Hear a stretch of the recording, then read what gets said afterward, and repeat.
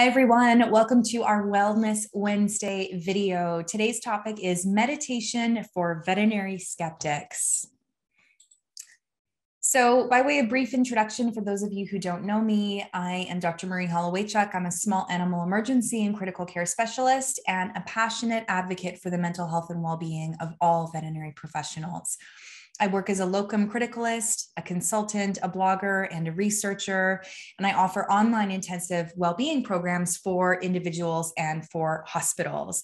I also do keynotes and online workshops. And I just recently launched the Reviving Vet Med podcast during which I share the audio versions of these videos with some additional personal content shared as well. And when I'm not working hard uh, to better the veterinary profession in one way or, or another. I do love to hike, I strength train, and I am a new mom to a uh, daughter who turns two in a couple of weeks. All right. So, as we get started today, our objectives for today are to understand the emotional and mental consequences of an inability to stay present.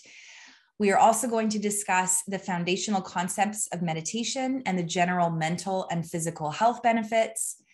I also want you to come away having learned the research, personal, and professional benefits of meditation among both human and veterinary care providers. And I hope that you will use 10 strategies that I share in today's session to help you create and sustain a daily meditation habit. So, lots of great stuff to dig into today.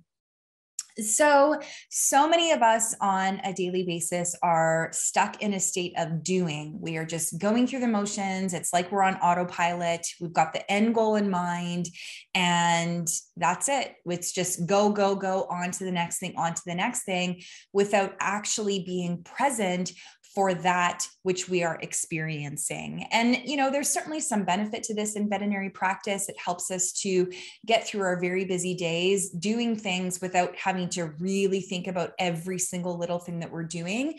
But it can also have some consequences for us in terms of not really processing everything that we're experiencing or missing some things that might be important for us. So, being in a state of being is being fully present, being aware of our sensations, our thoughts, and our feelings as they arise, and focusing on the task itself as we're doing it rather than the end point and just getting to the end and moving on to the next thing. So, lots of benefits, as you can imagine, for a being state of mind in comparison to a doing state of mind. Again, they both have their benefits, and we'd like to at least strive for a little bit of time in a state of being at some points in our day. And it's really funny when you think about it because so often when we are at work, our mind is elsewhere. We're thinking about being at home, being with our kids, being in bed, you know, whatever it might be. And then we get home and we get into bed. And then where does our mind go? It goes back to work, it goes back to other things that we did during the day. So there's just this fascinating human experience that we have whereby our mind is very often not in the same place as our body. Our thoughts are elsewhere, whether it be projecting into the future or um, dwelling on the past. And, you know, this is what creates a lot of anxiety and depression for many of us. So, thinking about the future, all the what ifs, all the when this happens, all the to dos, and so on, or focusing on the past, you know, why did that happen? If only this had gone this way, I should have done that often creating you know um, depressive experiences for us if we can be fully present to our experiences here in the moment all of those thoughts go away. A lot of those feelings, those depressive and anxious inducing feelings go away as well. So, again, this is where a lot of the mental health benefits of mindfulness come in so i really do believe that that dogs and other animals in our lives are really the poster children so to speak or great examples of practicing mindfulness. You know dogs are very much uh, able to see what is right in front of them rather than you know dwelling on on other things um, that have happened before or that are going to happen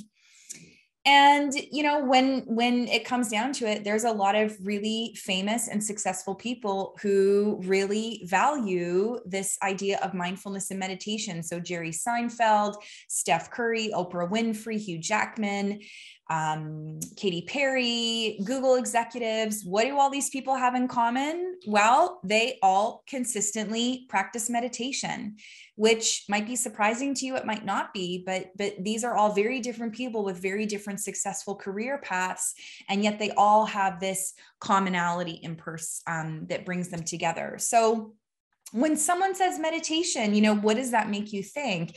Certainly for me, when I was just diving into mindfulness and meditation, I mean, I personally thought of, oh, yeah, that's that thing they make us do at the end of yoga class. Um, or I imagined a, a Buddhist monk, you know, meditating by a waterfall. Even sometimes I would think, you know, gosh, is this when you have those, you know, levitation or, you know, um, transcendental experiences? And, you know, I want to make sure that all of you recognize that meditation it's it's some of you might be thinking like yeah that's where you sit there and you try and just clear everything out of your mind and that is not what it is meditation is not any of the things I've mentioned, nor is it about clearing the mind.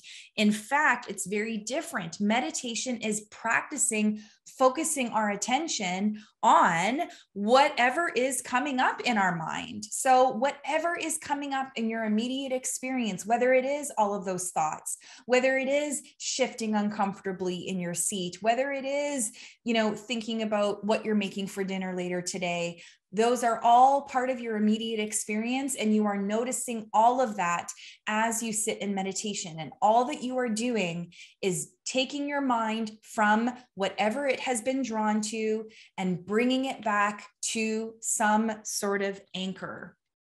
So, um, again, this is all in an effort to really be present for what we are experiencing. When you think about dogs, you know, you take your dog out for a walk and they literally see the bird, they smell the grass, they hear the cars going by, whatever it is, versus our minds are just full of what what what am I gonna um, make this weekend for for meals, and what do I need to do on my to do list, and when am I gonna pick up my child from their activity, and and on to the next thing. So we really do want to practice this this presence, this present mindedness, this awareness of our immediate experience. So when it comes down to it, Meditation is simply exercise for the brain. We are working that part of our brain, that higher functioning prefrontal cortex part of our brain that is responsible for executive decision making and problem solving and focused attention. And we are building that up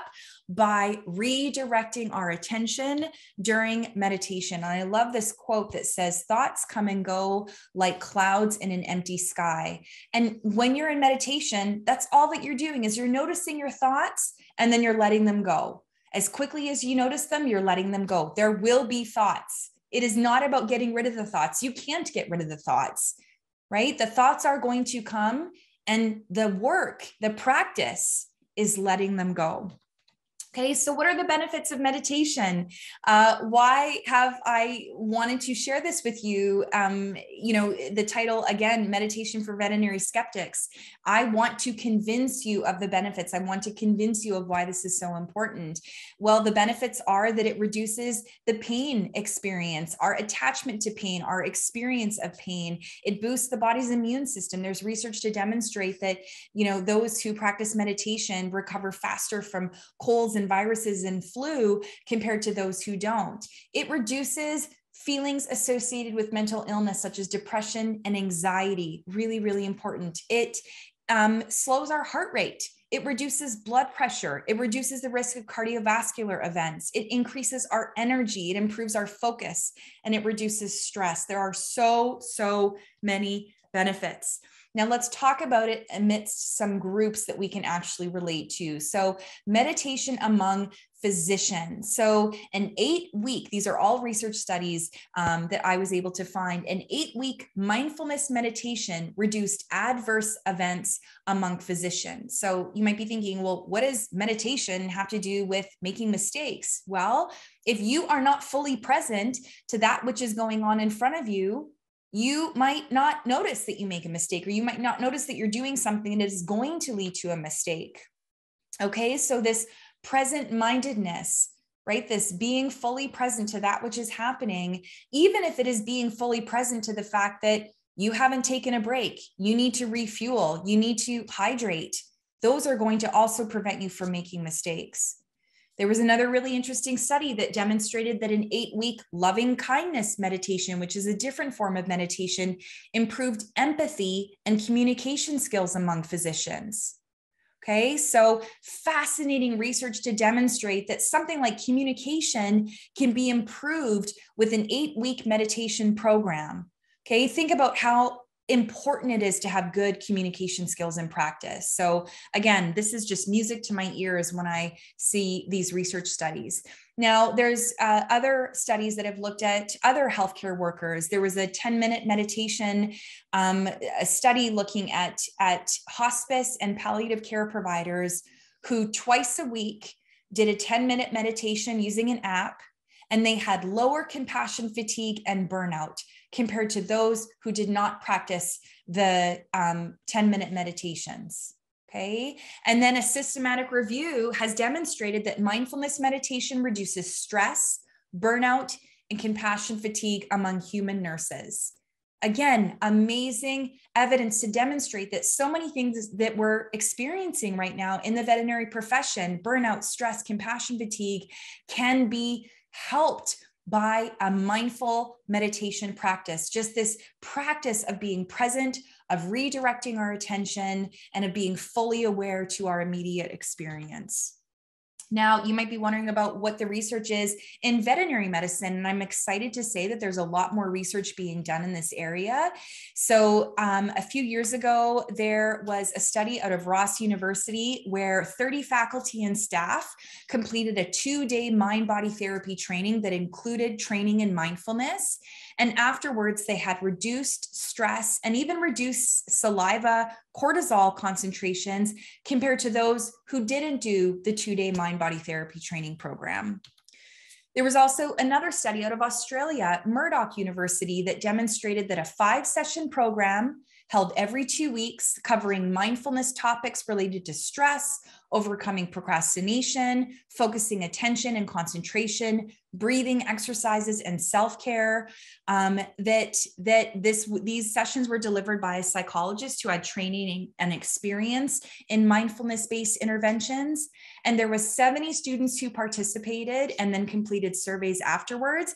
And what was really interesting in this study is that those students who were above the normal range for depression or anxiety scores had significantly lower depression and anxiety symptoms when they practiced mindfulness at least once a week compared to those who didn't practice mindfulness. Now, interestingly, in the studies, that they did not see those same benefits in students without depression or anxiety symptoms. So, for me, what that says is that for those of us who do experience depression and anxiety, which is quite a lot of us in this profession, that we have even more hope of having benefit from a meditation and a mindfulness practice. And then finally, there was a really interesting study out of North Carolina a few years ago um, among fourth year DVM students, where they took a group of students and had them do a five minute breathing exercise right before they went into a surgery that they were performing. And they compared those students to students who didn't do a breathing exercise. And what they found is that just before going into surgery, their stress um, saliva concentrations of alpha amylase, a stress hormone, went down and that the students who did the breathing exercise reported that they were more calm, more relaxed compared to students who did not do the breathing exercise. So, um, even just a five minute breathing exercise before you call a, a difficult client or before you go into a difficult surgical procedure yourself or maybe have a difficult conversation with someone that that could help to lower your stress levels. This is just fantastic information for us to know. Okay, so now that I've convinced you you're probably wondering, well, how do I get started? How do I get started? And how do I stick with a meditation practice? Maybe some of you in the past have tried meditation and you decided that wasn't for you. I urge you to try it again. There have been periods in my life where I have gone in and out of using a, a mindfulness or a meditation practice, but I, whenever I have done it, I have always found it to be helpful. So if this is resonating with you, if you feel up to trying it again, I really urge you to do so. So number one tip start today. You don't need a you know fancy meditation pillow and to dedicate a room in your house to meditation. All you need is a quiet space where you can sit or lie down and not be interrupted. Now as a single mom i know that is very hard to find when your children are home. So maybe you do it when the kids are asleep. Maybe it's first thing in the morning before you wake up or before bed. A quiet space where you will sit lie down comfortably, not be interrupted. Tip number two, you want to be comfortable. Okay. Whether you sit on the floor, if you do sit on the floor, I would sit on a pillow or a cushion or a folded up blanket, even just sitting in a chair. You can sit in bed. Um, you will just rest your hands in your lap. You don't have to hold any fancy hand position. You don't have to crisscross your legs. Be comfortable. You can even lie down, but I will say if you do lie down, you are more likely to fall asleep. Now, if you're doing a meditation before you go to bed and you're totally okay drifting off, that's fine. But if you really want to reap those benefits that we talked about, you do want to be awake for the duration of your meditation practice. Tip number three is to just notice your breath. You don't even need a recording. You can just sit comfortably, uninterrupted, and observe how it feels to breathe. If that's, you know, too ambiguous for you, count your breaths. Close your eyes and just count. I'm breathing in once. I'm breathing out once. I'm breathing in twice. I'm breathing out twice inevitably your mind is going to wander to something else. As soon as you notice your mind has wandered you bring it back to the breath and you start from one and you start counting again. Tip number four is to schedule it in. One of the my favorite quotes is from gretchen rubin who says something that can happen at any time happens at no time. If you just say i'm going to meditate sometime tomorrow you're probably not going to meditate okay try to plan this into your schedule first thing in the morning maybe right when you get to work. You can do it in the car before you go into the practice, maybe on your lunch break, right after you get to your car after work, or maybe right before bedtime. Do it at the same time every day, and preferably having decided that ahead of time. Tip number five is to start small. So, just like regular exercise, meditation is exercise for your brain, has more benefits the longer you practice. So, most of the studies demonstrate that a 10 to 20 minute practice or longer will have the most benefit. But if that doesn't feel doable for you, start with five minutes. Heck, start with five breaths. Start with what you know that you can comfortably do, and then you increase from there. Tip number six is to join a group. So for many of us, that that outer accountability, that knowing that someone is depending on us or that we've signed up to show up for something, that is going to make it more likely to happen. So you can go to meetup.com, you can find a meditation group there, Eventbrite. There's tons of free meditation events on Eventbrite. And the website mindfulleader.org has a 24/7 Monday to Friday meditate together website. Basically what you do is you sign up and you commit to showing up at that same time, Monday to Friday, to meditate with this group. They have instructors that are there 24 7 during the week, leading these meditations. Um, it's a really fantastic way to feel truly like you are meditating in a group, even though you're doing it virtually.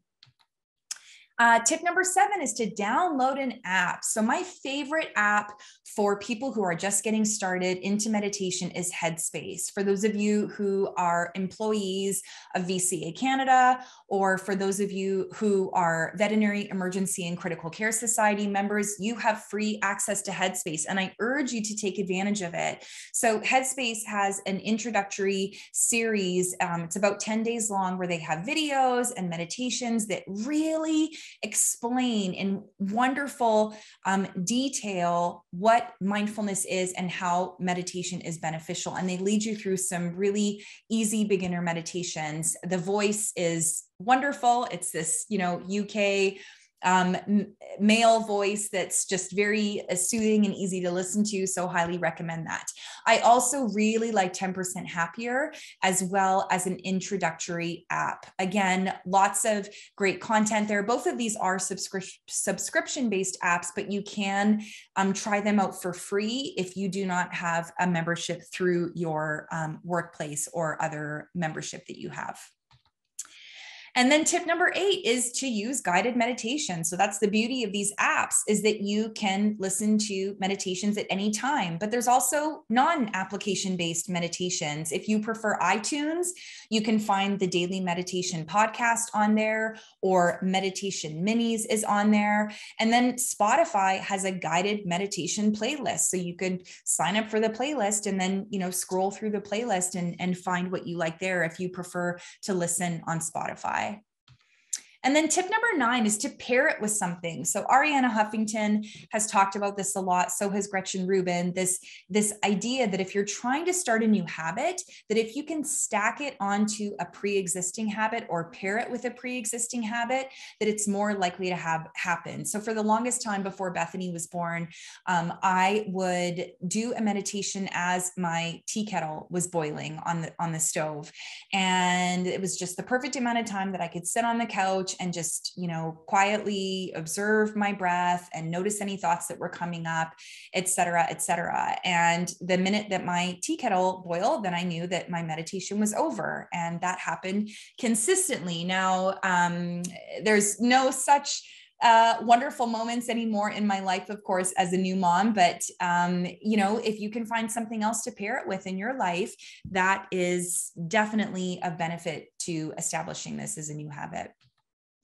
And then last but not least, tip number 10, just try it. Try it for a month do a challenge. Challenge yourself to you know for the month of june or you know i, I love mindful may mindful march you know the m's they kind they kind of go together. Um, we've sort of passed our window for that at this point but you know give it a try. Just do a little experiment for yourself where you say i'm going to do this for 30 days and i'm going to see how i feel. And i guarantee you are going to feel different in some way and hopefully that will convince you that this is something that you want to continue um, indefinitely.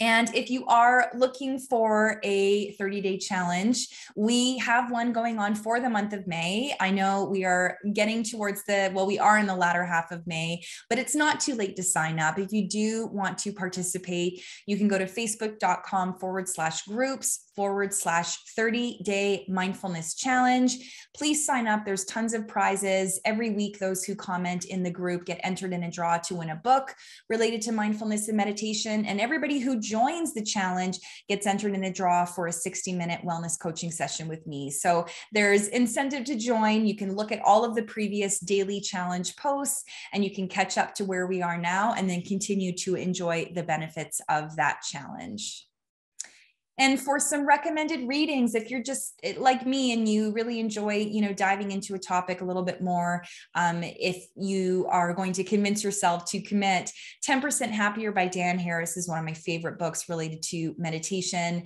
Jon kabat-zinn wrote wherever you go there you are. It's a fantastic book as well related to mindfulness and meditation. And then dan siegel if you're wanting something that's a little bit more neuroscience related the mindful brain is also an excellent book to talk about the benefits from a neuroscience perspective when it comes to mindfulness. So, some really great resources there. So, I'll leave you with my key takeaways for this session. Mental and emotional distress, we know, is often coming from our inability to be present, to be in the moment. And there's research studies to demonstrate that physical and mental health benefits are there for those who regularly meditate. So, is this something that would be a benefit to you? I would say yes.